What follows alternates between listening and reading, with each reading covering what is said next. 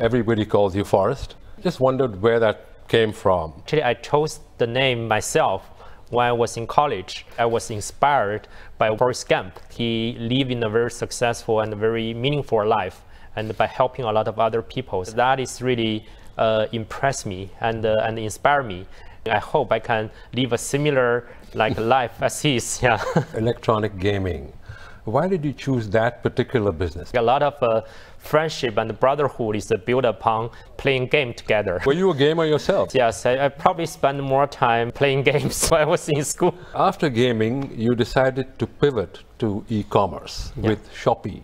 Why did you decide to go into e-commerce? We see e-commerce is, is very, very booming mm. in the other markets, right? And for example, in the US and, and, and in, in China, e-commerce penetration of retail is already close to like 20%. Around five, six years ago, uh, sometimes I brought my family uh, travel around and we spend some time in China. I asked my daughter, so what do you miss most about China? She said Taobao. And I half joke with her, okay, then daddy will build one for you here. uh, what was your biggest failure as an entrepreneur? What advice would you give to young entrepreneurs from your experience? If I can do it again, uh, I would like to be more aggressive uh, to focus on uh, hiring people and uh, hiring the uh, young, ambitious, and uh, very driven uh, young fresh graduates from universities. A lot of young entrepreneurs, they tend to make the conclusion too quickly. A lot of entrepreneurs, I would say a little bit obsessed